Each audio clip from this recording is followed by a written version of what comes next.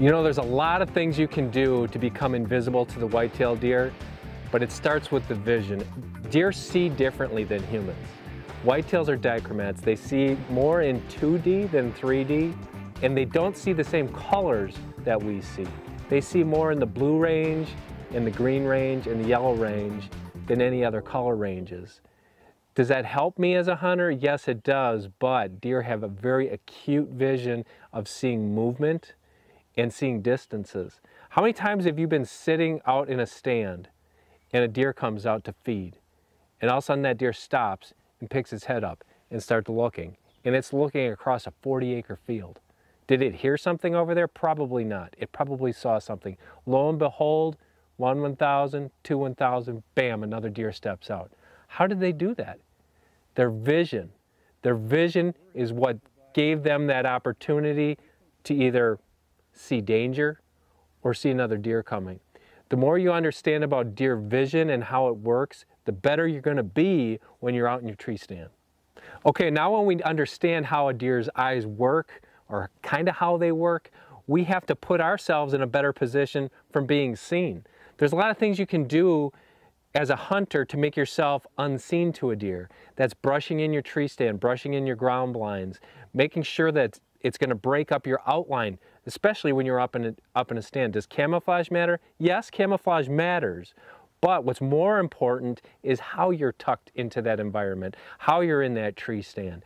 It's not going to matter what color I'm wearing or what pattern I'm wearing. It's about breaking up my human silhouette. They see the human silhouette, they know that's danger, whether you're on the ground or whether you're up in a tree. They know something's not right.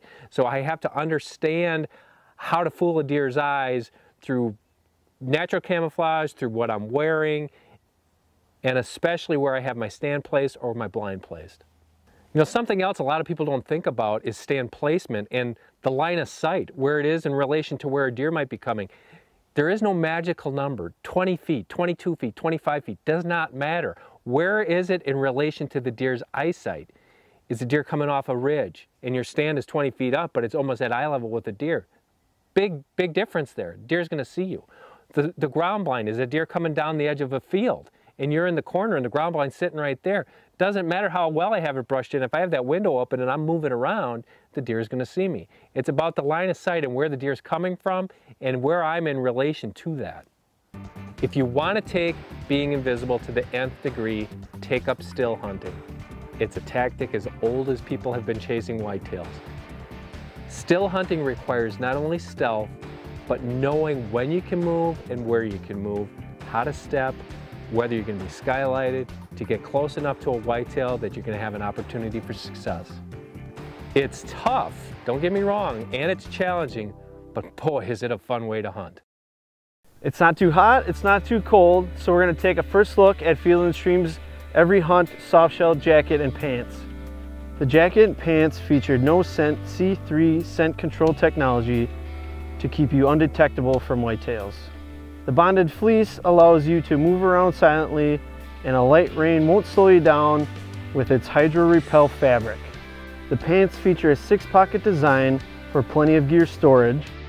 If you're an all season hunter, check out this and other Field & Stream products. Visit fieldandstreamshop.com.